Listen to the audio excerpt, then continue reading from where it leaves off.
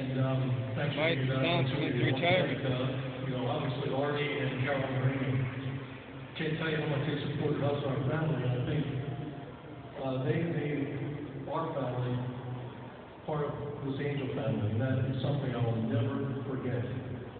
Um, and giving us the opportunity to stay here for nineteen seasons just doesn't happen, guys, so believe me, I don't take that for granted. I want to thank Arte and Carole, um, you know, for their opportunity.